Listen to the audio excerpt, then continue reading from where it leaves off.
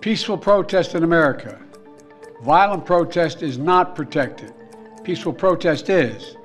It's against the law when violence occurs.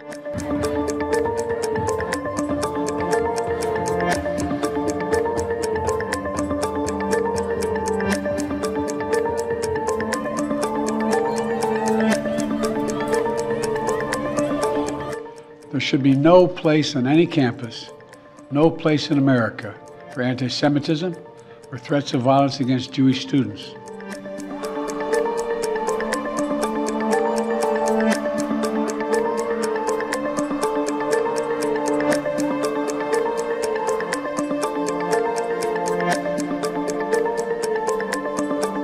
But dissent must never lead to disorder or to denying the rights of others so students can finish the semester and their college education.